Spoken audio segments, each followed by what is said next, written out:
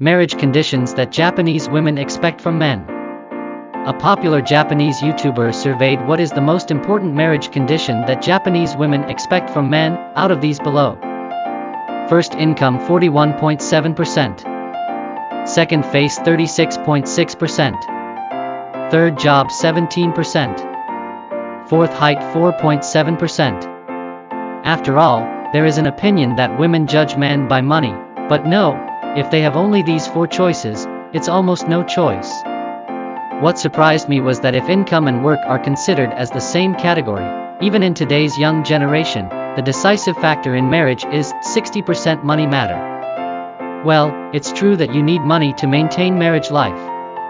While I think about it, I'm a little worried about the people who chose face and height from these four choices. What do you think?